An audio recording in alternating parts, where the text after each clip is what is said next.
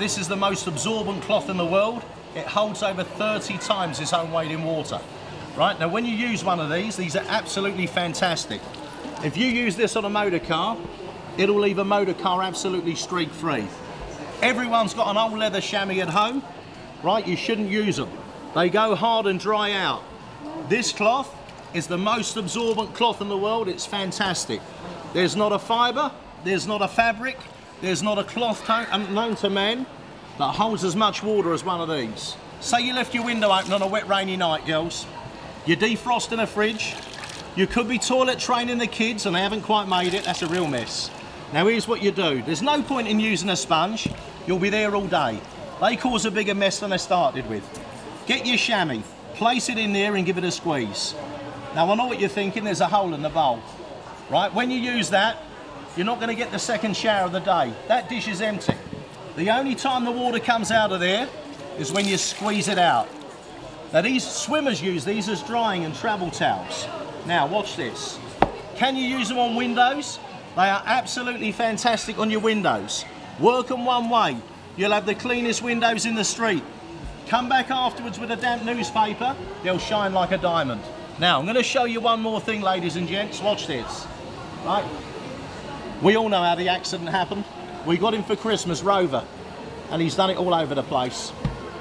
It could be you, with a drink too many on Saturday night. Now, most people panic with a mess like that on the carpet.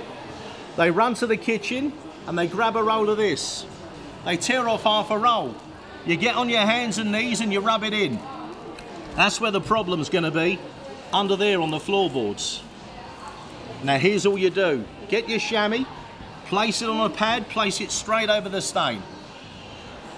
Every time you double that chamois over, they become twice as powerful and twice as absorbent. Now if someone's silly enough to knock it over, squeeze it straight back into their glass, let them drink it again. Now this is fantastic to get out old stubborn stains. Warm water, white vinegar, and a teaspoon of bicarb soda. If you go over the stain the same way I am, that chamois will take any stain from any surface. Coca-Cola or Coca-Cola, even red wine from a white rug.